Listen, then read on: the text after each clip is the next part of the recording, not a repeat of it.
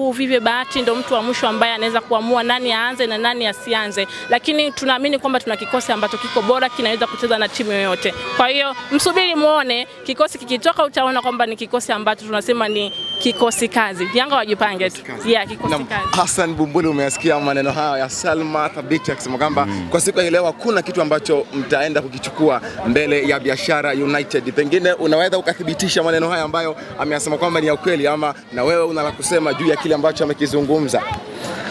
Uh, kwanza tunashukuru kwa kurudi Mwanza kwa mara nyingine kwenye mchezo wa ligi kuu ya NBC.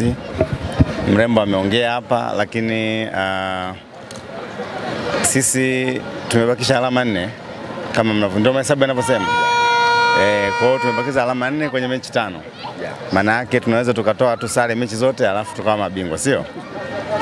Eh, yani tunaweza tukatoa sare mechi zote tukawa mabingwa, lakini hatuna plani ya kutoa sare, na niwaambie ndugu zetu wa biashara kwamba uh, katika hili wanaoliingia wameingia katika yani, uh, maji yamekuja kwa mtu mwenye kiu, alafu maji yenyewe ni baridi, kwa lazima yatanyweka. E, kwa biashara ya kupambana, basi wataendelea kupambana huko, lakini sio kwetu sisi.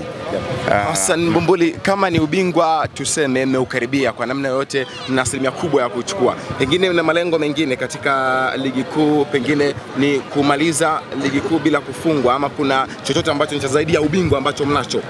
Hapana, zaidi kubwa ilikuwa ni ubingwa.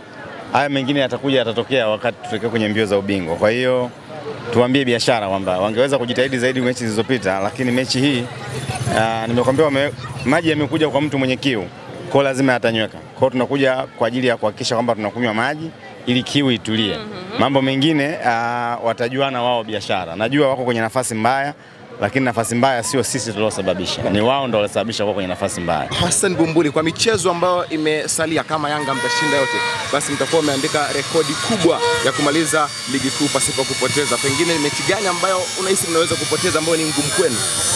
Mechi yoyote inaweza ikatokea tukapoteza, lakini hakuna mechi tunayohofia.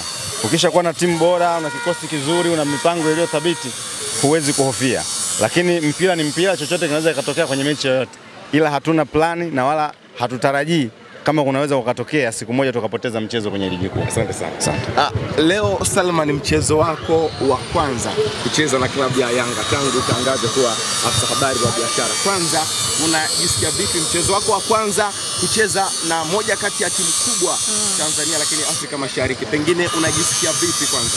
Ah, ni jambo kubwa kwa sababu Yanga ni timu kubwa. Tunasema ukicheza na timu kubwa lazima na wewe uwe mkubwa. Kwa hiyo hili ni jambo ambalo ni kubwa, tunasema kwamba ni moja tunasema ya rekodi kubwa ambazo kama Biashara United, lakini mimi pia binafsi yangu imekwenda kuingia kwenye historia ya maisha yangu na ili Hassan Bumbuli pamoja na Salma Thabiti kwa upande wa Biashara United. Bwana, leo umemkaribisha ndugu yako Hassan Bumbuli. Kwanza, matarajio yako katika mchezo wa hii leo ni yapi hasa? Uh, kwanza kabisa naweza kusema tunakwenda kwenye hii game, tunakwenda kuwaheshimu Yanga kwa sababu Yanga wamekuwa na kikosi ambacho kiko bora sana msimu huu, lakini mpaka hivi sasa hawajapoteza mchezo wote. Kwa hiyo hili sisi tunaingia kama kwa tahadhari kubwa zaidi, lakini yote kwa yote, mahitaji ya timu yetu ni alama tatu muhimu, kwa sababu nafasi ambayo tupo, tupo katika eneo baya zaidi la kushuka daraja. Kwa hiyo kocha mkuu Vivian Bahati, mipango yake mikubwa ni kuhakikisha kwamba mechi hii tunakwenda kuishinda, na hatutishwi na ubora ambao wako nao Yanga, japokuwa tunawaheshimu. Mahitaji ya timu ni kuweza kupata alama tatu, na yote kwa yote tunaamini kwamba leo tunaweza kuvunja rekodi ya timu ya wananchi. kwamba uhakika kwamba kuna alama zenu tatu ambazo klabu ya Yanga imezitunza, ndivyo ambavyo unatamatisha hivyo. Lakini sasa eh, klabu ya Yanga kwa sasa wanahitaji alama nne pekee, kwa maana kwamba washinde mchezo wa hii leo, wakirudi kule jijini Dar es Salaam, basi wapate angalau alama moja ili waweze kutawazwa kuwa mabingwa. Unavyokitazama kikosi chako eh, kuna mabadiliko yote ambayo mwalimu ameyafanya na ameweka wazi, atakuwa na mabadiliko yote Ah, naweza nikasema kwamba umezungumzia kwamba Yanga wanahitaji alama nne ili waweze kutangaza ubingwa, lakini sisi kama Biashara United, wanajeshi wa mpakani, hatuwezi kukubali kuwa sehemu ya daraja kwa wao Yanga kuweza kupata alama tatu ili waweze kuwa mabingwa. Lazima tuweze kuwazuia Yanga kwa sababu sisi tunahitaji alama tatu.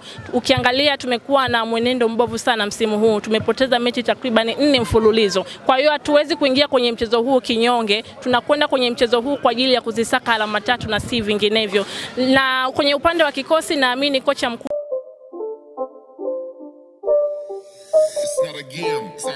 It's a.